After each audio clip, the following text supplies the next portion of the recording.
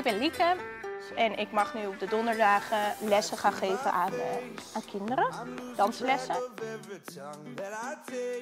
Ik vind het belangrijk omdat ze uh, ten eerste lekker veel bewegen en het gevoel van ritme daarbij ontwikkelen. Naast dat merk ik en hoor ik in mijn omgeving dat, er, dat dansen veel wordt gezien als iets voor meisjes. En dat wil ik eigenlijk een beetje wegnemen bij niet alleen de kinderen, maar ook bij de volwassenen. Ik hoor volwassenen ook wel zeggen, ja maar dat is toch alleen voor meisjes? En dan denk ik nee, want dansen is ook voor jongens. Ik zie heel veel plezier bij kinderen.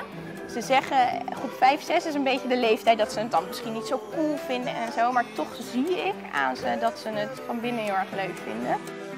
Tegen alle leerkrachten van Nederland zou ik willen zeggen dat ze gewoon moeten gaan dansen met de kinderen. Dat kun je doen door zelf pasjes te gaan bedenken, maar als je dat heel moeilijk vindt, dan kan je dan gewoon op YouTube zoeken naar tutorials of gewoon op play drukken en uh, de kinderen het lekker na te laten.